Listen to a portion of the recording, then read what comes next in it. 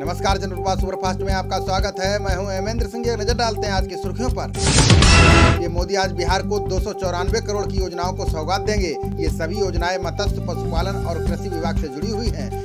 मौके पर पीएम मोदी प्रधानमंत्री मत्स्य संपदा योजना का शुभारंभ भी करेंगे। साथ ही किसानों के लिए एक समग्र नस्ल योजना, बाज़ार और सूचना संबंधी ई गोपाला ऐप को भी लॉन्च करेंगे। मोदी ने सड़कों पर खाने पीने का व्यवसाय करने वाले स्ट्रीट फ़ूड वेंडर के लिए नई योजना का ऐलान किया है। पीएम मोदी ने कहा है कि स्ट्रीट फ़ूड वेंडर्स के लिए ऑनलाइन प्लेटफॉर्म तैयार किया जा रहा है, जहाँ बड़े बड़े रेस्टोरेंट की तरह ही ये वेंडर्स छोटे छोटे ग्राहकों को अपने खाने पीने वाले सामान की ऑनलाइन डिलीवरी कर सकेंगे। राफेल लड़ाकू विमान विधिवत रूप से आज भारतीय वायुसेना के बेड़े में शामिल हो गया है। इसी उपलक्ष्य में अम्बाला एयरफोर्स स्टेशन में कार्यक्रम रखा गया है। कार्यक्रम में रक्षा मंत्री राजनाथ सिंह और उनके साथ फ्रांस के रक्षा मंत्री फ्लोरेंस पार्ली भी मौजूद है। कार्यक्रम के चलते अम्बाला एयरफोर्स स्टेशन के साथ साथ आसपास के एरिया की सुरक्षा भी बढ़ा दी गई है। सीमा पर जारी तनाव के बीच मास्को में भारत और चीन के विदेश मंत्रियों के बीच आज अहम बैठक होने वाली है। दोनों देश राजनयिक और सैन्य माध्यमों के ज़रिए विवाद को सुलझाने की कोशिश कर रहे हैं, लेकिन चीन की कायराना हरकत शांति बहाल होने की प्रक्रिया पर पानी फेर रही है। दोनों नेताओं की ये मुलाकात संघाई सहयोग संगठन की बैठक से हटकर हो रही है। सीमा पर जारी गतिरोध के बीच चीन की मीडिया वीडियो जारी कर भारत को गीदड़ धमकी दे रही है। दूसरी ओर रेजांग ला के भारतीय सैनिक भी हर स्थिति का सामना करने के लिए मुस्तैद हैं। अखबार के संपादक ने चीन की सेना के युद्ध अभ्यास का वीडियो शेयर करते हुए कहा है कि भारत को उकसाने की कार्रवाई बंद कर देनी चाहिए। उन्होंने कहा कि अगर नहीं माने तो चीन भारत को हरा देगा। पैंगोंग इलाके में भारतीय सेना ने रणनीतिक रूप से अहम पहाड़ियाँ एवं स्थानों पर अपनी उपस्थिति दर्ज कराने की प्रक्रिया तेज कर दी है।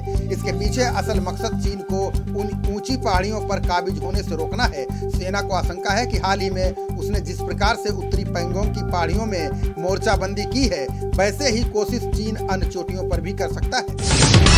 सीडीएस बिपिन रावत ने देश की रक्षा, सार्वजनिक क्षेत्र के उपक्रमों और ऑर्डिनेंस फैक्ट्रियों को अपनी कार्य संस्कृति में सुधार लाने की ज़रूरत है। उन्होंने कहा कि गुणवत्ता पर विशेष ध्यान देने की आवश्यकता है। डिफेंस एक्सपोर्ट्स पर आयोजित एक सम्मेलन में उन्होंने कहा कि देश के रक्षा खर्च के वितरण पर कड़ी नज़र रखने की ज़रूरत है। श्री राम जन्मभूमि ट्रस्ट के अध्यक्ष नृपेंद्र मिश्र ने अयोध्या समेत गोना बस्ती के सीमाई इलाकों का दौरा किया है। उन्होंने कहा कि राम मंदिर तक आवागमन के लिए हाईवे से तीन कॉरिडोर का निर्माण किया जाएगा। नोएडा के डीएनडी की तर्ज पर सड़कें, पुल और फ्लाईओवर का निर्माण किया जाएगा। आधुनिकता के साथ प्रभु राम की नगरी को आध्यात्मिकता की झांकी से सजाया जाएगा।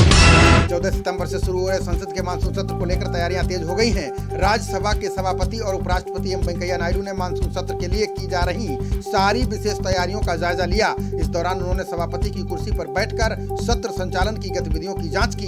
मार्क सेशन के दौरान एक चैम्बर से दूसरे चैम्बर में ऑडियो और वीडियो सिग्नल के ट्रांसमिशन की भी जाँच की गई ड्रग्स मामले में गिरफ़्तार रिया और उनके भाई सोवी की जमानत अर्जी पर आज मुंबई के सेशन कोर्ट में सुनवाई होगी। उन्हें बुधवार को एनसीबी के लॉकअप से भाई खला जेल में शिफ्ट किया गया था। आपको बता दें कि रिया को एनसीबी ने मंगलवार को गिरफ़्तार किया था। निचली अदालत ने जमानत याचिका खारिज करते हुए चौदह दिनों की न्यायिक हिरासत में भेज दिया था। अभिनेत्री कंगना रनौत की गैर अभिनेत्री कंगना रनौत की गैर मौजूदगी में बीएमसी ने उनके ऑफ़िस में हुए कथित अवैध निर्माण को गिरा दिया है। भारी सुरक्षा के बीच कंगना मुंबई पहुँची और अपने ऑफ़िस गई। उन्होंने बीएमसी द्वारा जारी की गई कार्रवाई का वीडियो सोशल मीडिया पर शेयर किया है, जिसके बाद लोगों ने बीएमसी और महाराष्ट्र सरकार के खिलाफ प्रदर्शन किया। इस दौरान बीएमसी ने कंगना को होम क्वारंटीन में छूट दी है। कंगना रनौत के ऑफ़िस पर बीएमसी की कार्रवाई पर हाईकोर्ट ने तल्ख टिप्पणी की है। कोर्ट ने कहा है कि बीएमसी अचानक नींद से जागी और नोटिस जारी कर दिया। वो भी तब जब वो राज्य से बाहर थी। इतनी तेज़ी बाकी अवैध निर्माणों पर दिखाते तो मुंबई कुछ और ही होता। कोर्ट ने कहा कि बीएमसी ने जो कुछ भी किया है, उसके पीछे दुर्भावना है और ये काम निंदनीय है। जिस तरह से बीएमसी ने निर्माण को ढाने का काम किया, वो उसके पीछे अच्छी नीयत नहीं नज़र आ रही। केंद्रीय वित्त मंत्री निर्मला सीतारमण ने अर्थव्यवस्था को उबारने पर बैंकों को सलाह दी है। निर्मला ने कहा कि अर्थव्यवस्था को उबारने के लिए बैंकों को उत्प्रेरक की भूमिका में आना होगा। इसके साथ ही कोरोना संकट के माहौल में अर्थव्यवस्था में तेज़ी लाने के लिए बैंकों को अपने ग्राहकों की हर नब्ज पहचान कर उनको आर्थिक मदद देनी होगी। कांग्रेस महासचिव प्रियंका गांधी ने कहा कि रोज़गार की लड़ाई लड़ रहे युवाओं का सभी को साथ देना चाहिए। उन्होंने कहा कि इस देश का युवा अपनी आवाज़ सुनना सुनाना चाहता है। अपनी रुकी हुई भर्तियों, परीक्षाओं की तिथियों, नियुक्तियों एवं नई नौकरियों को लेकर युवा अपनी आवाज़ उठाना चाह रहा है। प्रियंका ने कहा कि आज हम सबको युवाओं की रोज़गार की लड़ाई में उनका साथ देने की ज़रूरत दक्षिणी कश्मीर के अनंतनाग में सेना ने रेडियो राबता 90.8 दिल से दिल तक की शुरुआत की है। सेना के commander R R brigadier Vijay Mahadevan ने कहा है कि ये अनंतनाग में एक ऐतिहासिक पल है। उन्होंने कहा कि ये रेडियो स्टेशन लोगों का है और लोगों के लिए है। ये स्टेशन सुबह छह बजे से रात दस बजे तक कार्यक्रम पेश करेगा। वही सेना के इस प्रयास की स्थानीय युवाओं ने सराहना की है। ब्लू और पिंक लाइन के बाद आज से वायलेट रेड और ग्रीन लाइन मेट्रो की भी शुरुआत हो गई है। वायलेट लाइन पर सुबह सात बजे पहली मेट्रो राजा नाहर सिंह स्टेशन, बल्लभगढ़ से दिल्ली के कश्मीरी गेट मेट्रो स्टेशन के लिए रवाना हुई। अन्य लाइनों पर भी सेवाएँ सात बजे ही शुरू हो गई लंबे अरसे के बाद शुरू हो रही मेट्रो में प्रवेश केवल कोविड प्रोटोकॉल के तहत ही दिया जा रहा है। जेडीयू के वरिष्ठ नेता और सांसद हरिवंश नारायण सिंह ने राज्यसभा के उपसभापति पद के लिए नामांकन दाखिल किया। राष्ट्रीय जनतांत्रिक गठबंधन ने हरिवंश सिंह को साझा उम्मीदवार के तौर पर मैदान में उतारा है। हालाँकि विपक्ष ने अब तक अपने उम्मीदवार के नाम का ऐलान नहीं किया है। आपको बता दें की हरिवंश का सत्रह सितंबर को कार्यकाल खत्म हो रहा है। राहुल गांधी ने कोरोना संकट में मोदी सरकार द्वारा लगाए गए लॉकडाउन पर बड़ा दावा किया है। राहुल ने कहा है कि केंद्र सरकार ने अचानक देश की जनता पर लॉकडाउन थोपा था। इससे देश के युवाओं के भविष्य और गरीबों के रोज़गार पर हमला हुआ है। इसके अलावा सरकार ने लॉकडाउन से असंगठित अर्थव्यवस्था को बर्बाद किया है। संयुक्त राष्ट्र ने कोरोना महामारी से गरीबी, भुखमरी और संघर्ष बढ़ने की आशंका जताई है। उन्होंने सचेत किया है कि कोरोना महामारी ने वैश्विक भेदभाव और अन्य मानवाधिकार उल्लंघनों को बढ़ा दिया है, जिससे संघर्ष और बढ़ सकते हैं। वहीं दुनिया के सबसे कमज़ोर देशों में इनके प्रत्यक्ष परिणाम वायरस के प्रभाव से भी अधिक हो सकते हैं। भारत में कोरोना संक्रमण में लगातार वृद्धि हो रही है। देश में पिछले 24 घंटों में रिकॉर्ड पचानवे हज़ार सात सौ पैंतीस नए मामले सामने आए हैं, जबकि एक हज़ार एक सौ बहत्तर लोगों की जान जा चुकी है। देश में कोरोना संक्रमितों की कुल संख्या चौवालीस लाख बासठ हज़ार के पार पहुँच गई है, जबकि अभी तक कुल पचहत्तर हज़ार बासठ लोग काल के गाल में समा चुके हैं। आपको बता दें कि दो सितंबर से हर दिन एक हज़ार से ज़्यादा लोगों की जान जा रही है। दुनिया भर में कोरोना के अभी तक दो करोड़ उन्यासी लाख तीस हज़ार से ज़्यादा मामले सामने आ चुके हैं, जिसमें दो करोड़ से ज़्यादा मरीज़ ठीक हो चुके हैं, जबकि अभी तक नौ लाख से ज़्यादा लोगों की जान जा चुकी है। वही बीते चौबीस घंटे में संक्रमण से दो लाख दो हज़ार दो सौ चौदह से ज़्यादा मामले सामने आए हैं। टॉप टेन प्रभावित देशों में सबसे ज़्यादा रिकवरी रेट दक्षिण अफ्रीका का है। बिहार विधानसभा चुनाव से पहले एलजेपी और जेडीयू के बीच तलखी को खत्म करने के लिए बीजेपी आगे आई है। सूत्रों ने बताया कि गृहमंत्री अमित शाह ने एलजेपी प्रमुख चिराग पासवान से बात की है। ये भी कहा जा रहा है कि अमित शाह और चिराग पासवान की मुलाकात भी हो सकती है। ये मुलाकात 14 सितंबर से पहले हो सकती है। विधानसभा चुनाव की तैयारियों को लेकर बीजेपी अध्यक्ष जेपी नड्डा 11 सितंबर को दो दिवसीय दौरे पर बिहार जाएँगे। इस दौरान माना जा रहा है कि जेपी नड्डा की मुलाकात बिहार के मुख्यमंत्री और जदयू अध्यक्ष नीतीश कुमार से हो सकती है। इस मुलाकात के दौरान दोनों नेताओं में सीट शेयरिंग फार्मूले पर बातचीत होने की संभावना है। कांग्रेस के वरिष्ठ नेता एम वीरप्पा मोइली ने पूर्व पीएम मनमोहन सिंह और पीवी नरसिम्हा राव को भारत रत्न देने की मांग की है। उन्होंने कहा है कि सिंह और राव दोनों देश के सर्वोच्च नागरिक सम्मान पाने के हकदार हैं। उन्होंने कहा कि आर्थिक मोर्चे पर राव और सिंह का योगदान बहुत महत्वपूर्ण है। दोनों नेताओं ने मिलकर देश को बुरी स्थिति से बाहर निकाला था और अर्थव्यवस्था में जान फूकी थी। कोरोना महामारी और लॉकडाउन से रेलवे की कमाई पर बुरा असर पड़ रहा है। रेलवे के माल ढुलाई से होने वाले राजस्व में भी कमी आई है। रेलवे को महामारी के प्रभाव से निकालने में नौ महीने से अधिक का समय लग सकता है। एक सर्वे के अनुसार वर्ष 2019 से 24 के बीच रेलवे का अनुमानित वार्षिक वृद्धि दर 10 से 12 प्रतिशत के बीच रह सकती है। कोरोना के चलते रेलवे की चल रही कुछ और नई परियोजनाओं में देरी हो सकती है। अमेरिका में कोरोना को लेकर राष्ट्रपति ट्रंप अपने विवादित बयानों को लेकर काफ़ी सुर्खियों में रहे हैं। इस पर व्हाइट हाउस ने सफ़ाई देते हुए कहा है कि राष्ट्रपति ट्रंप ने कभी भी जानबूझकर कोरोना के बारे में सार्वजनिक रूप से लोगों को गुमराह नहीं किया है। व्हाइट हाउस ने कहा है कि ट्रंप ने वायरस को लेकर फैले डर को दूर करने का प्रयास किया है और उन्होंने जनता से इस संकट की स्थिति में घबराने से बचने को कहा है। पंजाब सरकार ने 30 सितंबर तक राज्य के सभी एक सौ सड़सठ निगमों में अब सिर्फ़ रविवार को लॉकडाउन रखने का फैसला किया है। मुख्यमंत्री अमरिंदर सिंह ने राज्य में कोरोना के हालात की समीक्षा बैठक की। इसके बाद लॉकडाउन की कई पाबंदियों में ढील दी है।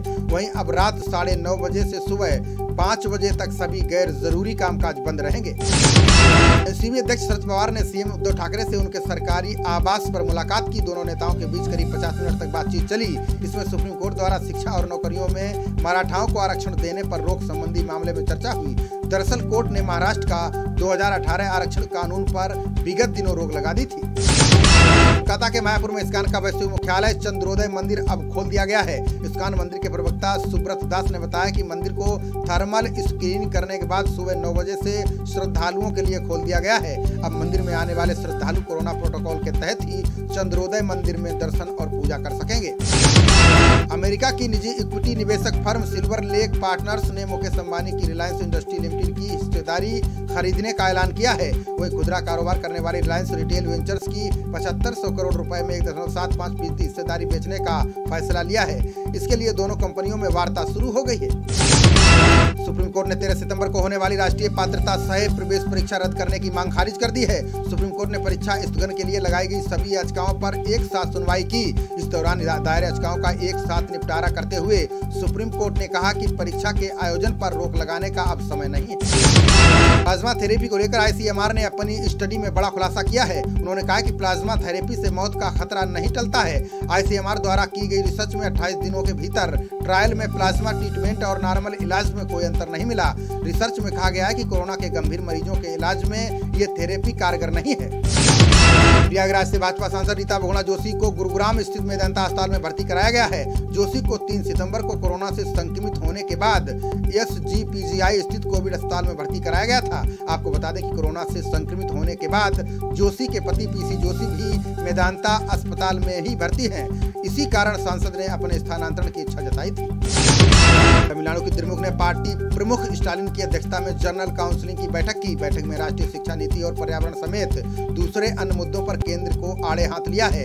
एम के स्टालिन ने केंद्र से राष्ट्रीय शिक्षा नीति को लागू करने की मांग की है। साथ ही पर्यावरण प्रभाव आकलन मसौदे को लेकर जारी अधिसूचना को वापस लेने का आग्रह किया है।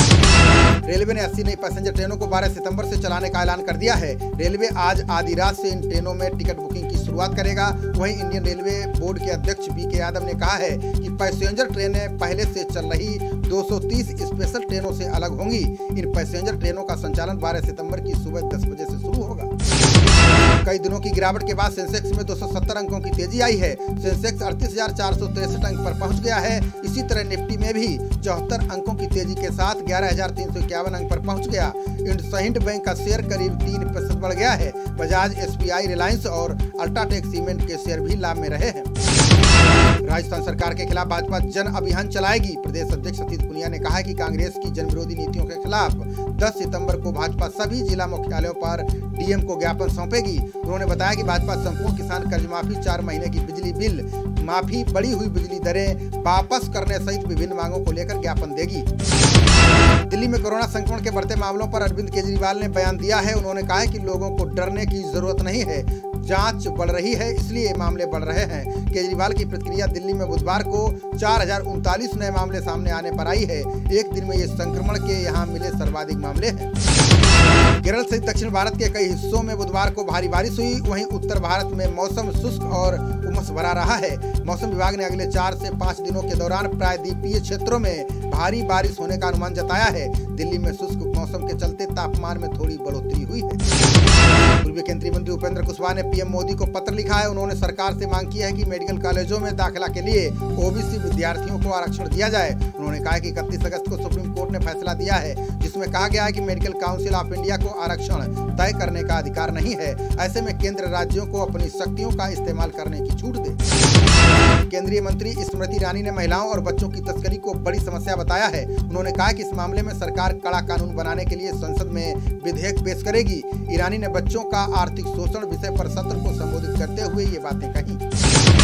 केंद्रीय मंत्री गडकरी ने कहा कि एमएसएमई क्षेत्र में पाँच करोड़ अतिरिक्त रोज़गार सृजित करने का लक्ष्य रखा गया है। ये लक्ष्य पाँच साल में पूरा कर लिया जाएगा। गडकरी ने कहा कि जीडीपी में एमएसएमई के योगदान को 30 प्रतिशत से बढ़ाकर 50 फ़ीसदी किया जाएगा। एमएसएमई क्षेत्र में फ़िलहाल करीब 11 करोड़ लोग काम कर रहे हैं। सीएम योगी ने पटन को विध्यांचल मंडल के विकास की कुंजी बताया। योगी ने सरकारी आवास से विध्यांचल मंडल के विकास कार्यों की समीक्षा की। मुख्यमंत्री ने कहा कि बिंद क्षेत्र हर घर नल योजना के लिए 6000 करोड़ रुपए की व्यवस्था की गई है। योगी ने कहा कि भदोही में निर्मित एक्सपो मार्ट को जल्द संचालित कर कालीन के निर्यात को बढ़ावा दिया जाएगा। देश भर में कांग्रेस समेत पूरे विपक्ष ने बुधवार रात 9 बजे लाइटें बंद करके लालटेन और मोमबत्ती जलाई। सभी पार्टियों ने देश और प्रदेश में बढ़ती बेरोजगारी के प्रति विरोध जताया। राहुल गांधी ने कहा कि मोदी जी ने प्रत्येक वर्ष दो करोड़ युवाओं को रोज़गार देने का वादा किया था। उसे प्रधानमंत्री ने पूरा नहीं किया। अधीर रंजन चौधरी को कांग्रेस ने पश्चिम बंगाल का अध्यक्ष नियुक्त किया है। पार्टी महासचिव के सी वेणुगोपाल ने ये जानकारी दी। उन्होंने कहा कि कांग्रेस अध्यक्ष सोनिया गांधी ने चौधरी को ये ज़िम्मेदारी सौंपी है।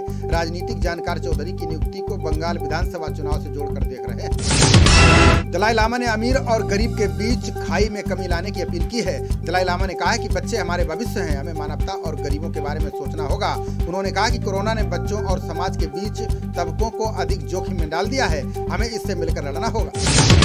केंद्रीय पर्यावरण मंत्री प्रकाश जावड़ेकर ने शुद्ध हवा को जीवन के लिए बेहद ज़रूरी बताया। उन्होंने कहा कि उम्मीद है कि भारत अगले 10 वर्षों में कार्बन उत्सर्जन में 35 प्रतिशत की कमी लाने के लक्ष्य को हासिल कर लेगा। जावड़ेकर ने भरोसा जताया है कि 2022 तक सौर ऊर्जा क्षमता को 175 गीगावाट से बढ़ाकर 220 गीगावाट कर लिया जाएगा। पी चिदम्बरम ने प्रधानमंत्री गरीब कल्याण योजना पर सवाल उठाया है। उन्होंने कहा कि बयालीस करोड़ से अधिक गरीबों को अड़सठ करोड़ देना राहत थी, या दिखावा। उन्होंने कहा कि क्या एक गृहिणी पाँच सौ रुपए में महीने में परिवार चला सकती है? उन्होंने कहा कि प्रवासी कामगारों को पाँच किलो प्रति माह राशन मिला। क्या इससे एक प्रवासी और उसका परिवार गुजर कर सकता था? मराठा आरक्षण पर सुप्रीम कोर्ट की रोक पर महाराष्ट्र भाजपा अध्यक्ष ने बयान दिया है। चंद्रकांत पाटिल ने कहा कि इसके लिए ठाकरे सरकार जिम्मेदार है। ये मराठाओं के लिए काला दिन है। पाटिल ने दावा किया है कि उद्धव ठाकरे और एनसीपी अध्यक्ष शरद पवार ने इस मामले पर ध्यान नहीं दिया। सरकार ने आरक्षण को लेकर अदालत में ठीक से पैरवी नहीं की।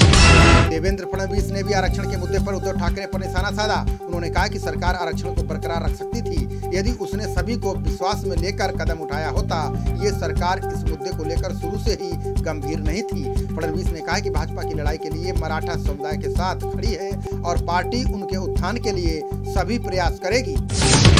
खबरों का सिलसिला जारी रहेगा। देखते रहिए जनप्रवाद। नमस्कार।